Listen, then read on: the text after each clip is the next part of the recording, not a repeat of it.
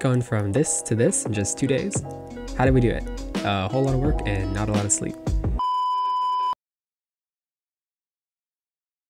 Before we get started, I know it's been a while since I last posted. If you're interested, I'll talk about that more at the end of the video, but for now, welcome back to the channel everyone. This is the post-mortem for a game jam game that I made recently called Gone Viral. You can see it on the screen right now. It's a puzzle platformer where you play as a virus trying to escape a hospital. May or may not be related to certain current events. The puzzle aspect comes in when you have to leverage a number of different DNA mutations that modify viruses to help you get around the level. For those of you not familiar with the jam format, uh, I made this game for a game jam. Basically, it's a mini competition where you attempt to make a game according to a theme, along with a bunch of other game developers in a short amount of time. It's a great way for game devs to get their juices flowing and, you know, actually finish something for once. Uh, and since it's a short amount of time, you can kind of just have fun and not really worry about making something good. If it sounds hard, it definitely is, but it's also a nice way to just have fun with game development and make a low stakes project that isn't expected to be good. Of course, doing well in a jam is great, but more importantly than that, it's an opportunity to try some new things. Here were the things I wanted to try this jam. First, work on a team. I make almost all my games alone, but for this jam, I actually had a friend join me. I really wanted to open up to the idea of collaborating and sharing creative freedom with someone else. That's scary for someone that usually works alone, but I wanted to try that for this jam. Secondly, make all of the assets. While this jam let us use outside assets, we really wanted to make all the art for this game ourselves. This adds to the challenge, but it also makes you feel like you really crafted this world, this whole game, kind of like from your own brain, and that's a really satisfying feeling. Anyway, without further ado, here's the story of how I made this cute little game in just 48 hours. So 8 p.m. on Friday, the theme gets released, and for this jam, the theme that got the most votes is Mutation. Immediately, my partner and I got to work thinking about all the cool things we could do with the game. Some of the cooler ones were an idea where you, you were some sort of like dog sitter for this like alien pet. And it constantly mutates into different hazards that you have to respond to before it destroys the whole house. So maybe like sets stuff on fire or shoots laser beams. Uh, if any of you have seen like Jack Jack from The Incredibles, it was very much inspired by that. But yeah, probably a bit too chaotic. Another idea was to start off as a basic character, trying to get to the end of the level, but in order to do so, you have to collect different DNA points that modify your character. You could add different legs to run faster, or maybe add wings to let you jump higher, things like that. The idea that finally stuck though was inspired by a game that we both loved called Badland. It's a wacky mobile game where you have to control these little animal things and herd them to the end of the level with a bunch of mutations.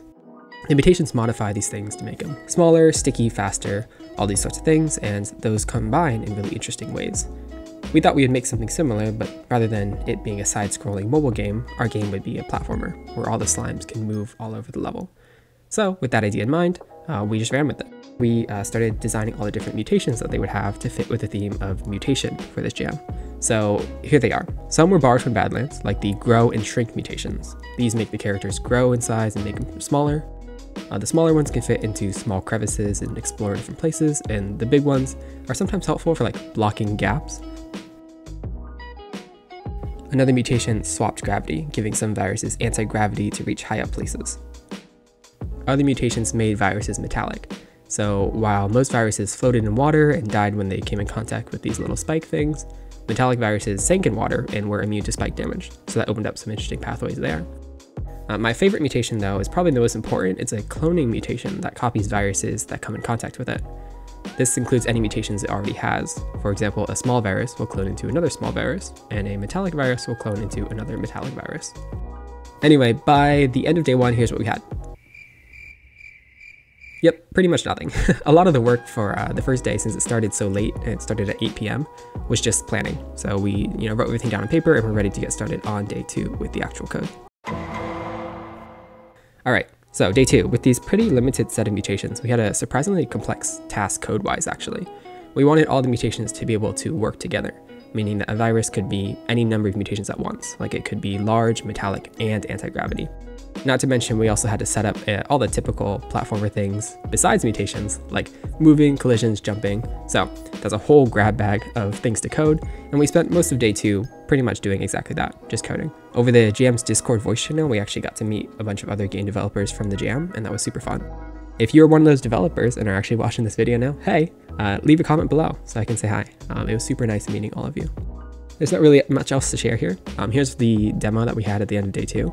It doesn't look like much, but like I said, a lot of code went into this, uh, and of course, a ton of bug fixing as well. And after a hard day of work, um, this was the this was the working physical prototype. It still had a long way to go before it was a true game, but it was good progress, and we were confident. We had one day left that we could complete the game. So day three. Despite getting pretty far the day before, we still had a lot more to tie up on the last day. Uh, the biggest task of all was to obviously put all of the graphics into the game. So right now we have basically a bare bones like proof of concept. It works, but it doesn't look good like at all, as much as I like this cute little pink guy. So uh, we need a real character, not to mention a tile set that would replace all these lame blue rectangles. So day three was basically just a bunch of art and game design. So while day two was code, day three was all, you know, pixel art. Uh, luckily, my teammate had stayed up the night before and was able to design our character, as well as a bunch of DNA pickups that represented each of the mutations with the different colors. So to match that, I got to work on a tile set. It's supposed to look like a hospital, but you know, I guess it just came out this sort of like cute blue. So here's uh, a time lapse of me doing that. After all the art came a bunch of level design, the process of actually designing levels that make the player think and use the mutation mechanic in interesting ways. I think a good metaphor is that Day two was spent giving the player all the tools, so writing all the code that would actually create an interesting world. Uh, day three was all about making that world and uh, giving them interesting problems to solve using those tools. My favorite puzzle mechanic that came out of this design is actually ordering mutations in different ways. Here's how that works. So depending on how you pick up the mutations, you can actually come out with different viruses. For example, let's say you have a metallic DNA and two clone DNAs. You could pick up the metallic first and then clone twice. That would leave you with three metallic viruses. Or you could clone twice first and then pick up the metallic DNA at the end, leaving you with just one metallic virus and two normal ones. Depending on what the level requires, one combination might be better than the other, and you have to think about all the different ways that you can order your mutations to come out with what you want. I thought it was pretty cool. Level design had to come last though, so we ended up only having just a few hours before submission to design levels, we came up with fewer than I would have hoped for, but at 8 p.m. on the third day, we did submit a fully complete demo of Gone Viral to DGM number 5, another jam in the books. In regards to my two goals, I had a blast during this jam. Getting to work with someone on a game was a new experience for me, and it made some of the parts of game design I really hate uh, a lot more bearable. I know I couldn't have made a game like this alone, so I'm super grateful to have worked with someone on this one. In regards to making all the assets, we did that too. Minus the music, we were able to craft this entire game from our own minds, so that means all the code and all the art and all the level design. If you want to play Gone Viral, there's a link down in the description. You can play in browser on pretty much any computer, so you know, go check it out. Leave me a comment if you're from the YouTube channel, um, and I'll get back to you about what you thought. Uh, and if you haven't done a game jam before and you've always wanted to consider this your push to go try one. My advice is to go in with goals about what you want to get out of the jam. So for me, that was working with the team and challenging myself to make all the assets instead of using any outside art. I advise you to go in with some goals about what you want to learn and then just go for it. And let me know how it goes if you decide to do one. If you're new to the channel, feel free to subscribe. I'm a game developer and all the content I post is game dev related. You can see more of my Game Jam postmortems or check out my long-term project, which I am currently devlogging as well. And leave a like on this video, no matter if you're new to the channel or not, it really helps me out a ton. Anyway, this has been the making of Gone Viral. Thanks, y'all.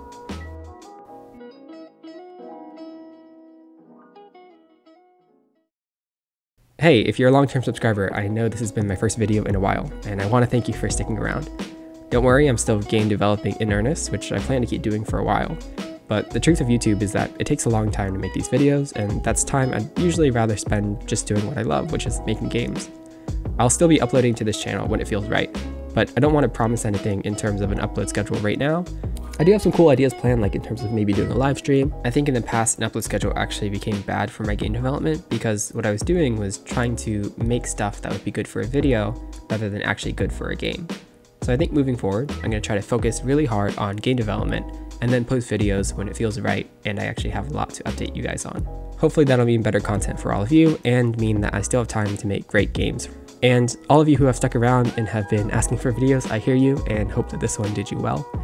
All of your support really means the world to me, and I'm so, so grateful for all of my subs, truly. So until next video, whenever that is, this is Kale Chips Dev, signing off. Thanks, y'all.